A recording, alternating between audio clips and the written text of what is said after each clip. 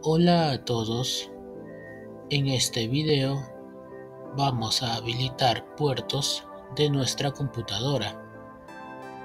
Para ello debemos configurar el firewall. El firewall es un mecanismo de nuestro sistema operativo para hacer una barrera con el objetivo de que otra persona no use la red con fines de hackeo. Se puede decir que es un modo de protección de red. Tú puedes habilitar o deshabilitar los puertos que desees. En mi caso, como voy a usar puertos para trabajar con el SP32 y no de red, tengo que habilitar esos puertos de comunicación. Esto además va a permitir la conexión de nuestra computadora con otras computadoras de forma segura. Entonces, para hacer la configuración, primero en el buscador ponemos Firewall y escogemos esta opción. Dentro de Firewall podemos configurar reglas de entrada y salida. Las reglas de entrada son para que otros dispositivos fuera de mi red puedan conectarse a mi computadora. De esa forma, usamos nuestra computadora como servidor. Y las reglas de salida indican que nuestra computadora puede usar los puertos configurados para usar otros servicios de forma segura. Entonces, vamos a tener que configurar estas dos opciones empezando por las reglas de entrada.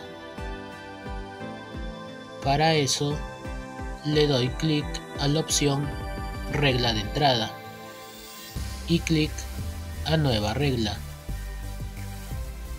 Después selecciono la opción puerto y le doy a siguiente. Aquí tengo que configurar los puertos que voy a utilizar. Usaré el puerto 1883 para el protocolo MQTT. Después pongo coma y agrego el puerto 1880, que es el puerto que usa Node-RED. Y por último, pongo una coma y agrego el puerto 80, que es el puerto que usa HTTP. Si tú necesitas usar otros puertos, simplemente colocas una coma y digitas el número del puerto que vas a usar. Ahora le doy a siguiente. La acción que voy a realizar con esos puertos es la de permitir conexión. Si en tu caso tú buscas deshabilitar puertos, tienes que darle a la opción bloquear conexión. Como ya está seleccionado la opción permitir conexión, le doy a siguiente. La regla se va a aplicar para estos tres tipos.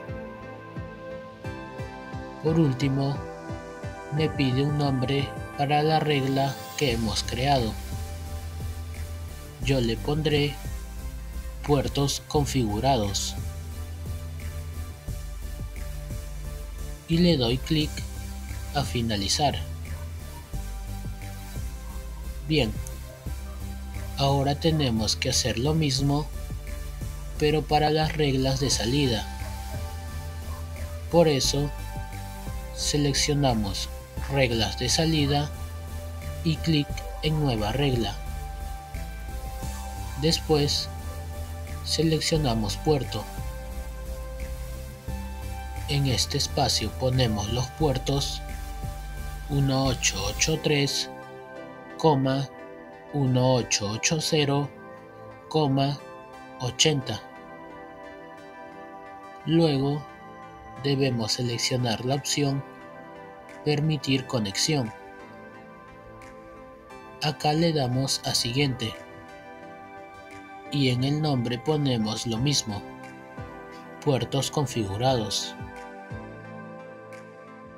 Y le doy clic a finalizar. Listo. Eso es todo lo que debo hacer para habilitar puertos.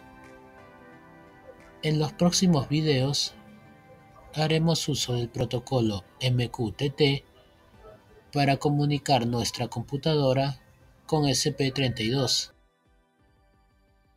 No olvides dejar un like y suscribirte si este video te sirvió. Gracias.